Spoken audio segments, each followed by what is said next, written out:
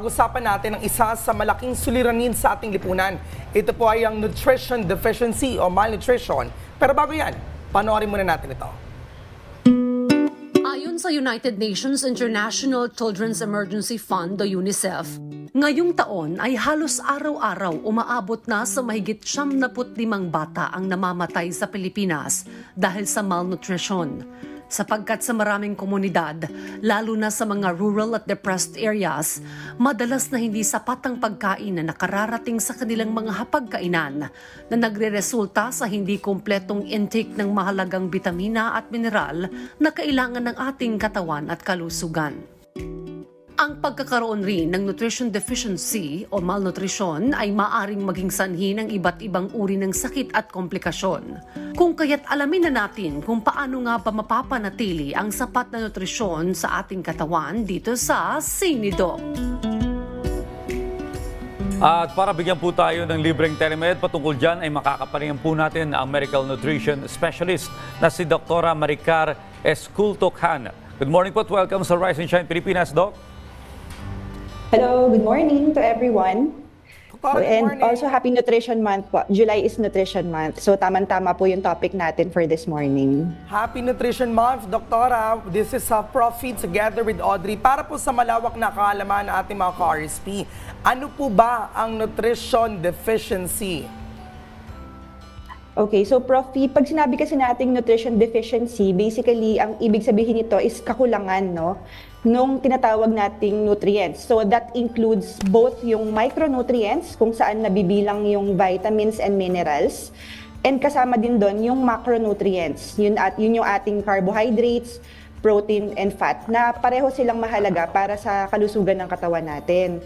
So pag sinabi mo namang malnutrition, actually it is uh, more of a general term eh. Yung malnutrition, sinasakop niya both yung excess, no, yung sobrang nutrition at saka yung deficiency. So pag malnutrition, um, kasama din dun yung obesity and overweight. Pero if we are just talking about deficiency, yun, kasama dun yung um, undernutrition at saka yung specific micronutrient or um, electrolyte deficiency. Mm-hmm. Well, sa panahon ngayon, Fino, dami ng resources, ang dami ng trabaho. Ah, hindi natin maisip na meron pa rin mga cases nito. Pero some cases dun sa mga malalayong lugar o yung mga lalawigan, ano, ano po ba, doktora, yung iba't ibang uri ng nutrition deficiency?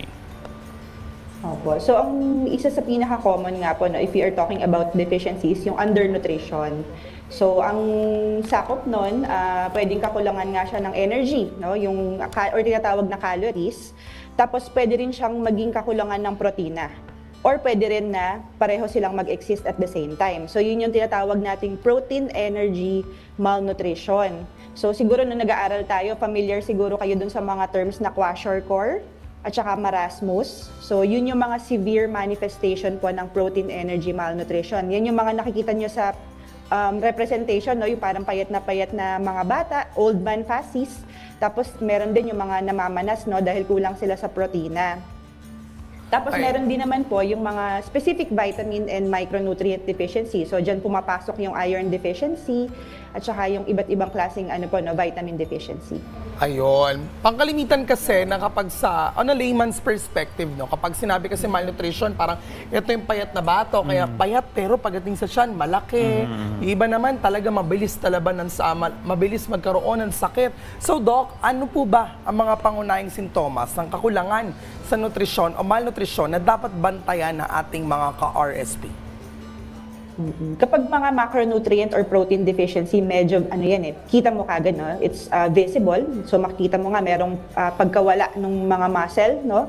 Ah, tapos um, pero kapag halimbawang mga micronutrient deficiency naman, medyo mas general yung ano nila, eh, general yung presentation, non-specific. Ah, ang mga example ng mga sintomas nito, yung simpleng panghihina. So yung pagsusugat ng ah, bibig at dila, So sometimes, pag example, vitamin C deficiency, yung nagdudugo yung gums. Ah, may mga iba rin, no, nalalagas yung buhok, ah, namumutla, no, for iron deficiency. Tapos mga general B-complex vitamin deficiency manifestation, yung para namamanhead, no, yung mga daliri or ah, sa paa. Kaya lang, ang, as I have said nga, no, yung mga manifestation na ito, hindi specific. So hindi po ibig sabihin na parang naranasan nyo yung mga sintomas na to, eh automatic nutrition deficiency na or vitamin deficiency na yung nangyayari sa inyo. So importante pa rin po na magpakonsulta pa rin po talaga kayo sa specialist, no? Para ma masabi kung ang cause po nung ano nung inyong mga nararamdamang sintomas ay related nga sa nutrition deficiency or baka mamaya nag-uumpisang sakit na pala siya. Well, nung araw, Profi, Doktora, ay ah, ang sanhi talaga ng malnutrition ay kagutuman. Okay. Pero kasi may mga cases po ngayon na meron namang normal na income yung isang household, Yes. pero yung mga batang nandun, eh, may nakikitaan pa rin ng kaso ng mga ah, malnutrition. Ano po ba, Dok, yung mga posibleng sanhi ng pagkakaroon nito? Ah, okay, usually po kasi halimbawa kahit naman available po yung mga pagkain, so makakakita ka pa rin ng mga signs ng deficiency. So, ano yung nagiging problem? Minsan po kung kulang sa sustansya, no, yung mga napapakain sa ano po, no, especially sa mga sa mga kids, no. So, mas kadalasan 'yan um, micronutrient deficiency kasi yung tago. No? Pero kung halimbawa naman na um, maraming ang available na food sa bahay pero imbalance, no? Merong imbalance yung sustansyang napo-provide. ah, kadalasan yan, puro carbohydrates, no? Sugary drinks, more of ah, doon nakafocus po yung mga pinapakain natin, kulang ng protein. So pwedeng ang mangyari rin po, yung bata, um, mukha siyang ano pa, no, malaki or mataba, pero kulang ng protein yung ano po pala, yung katawan niya. Medyo yung muscle ay hindi fully developed.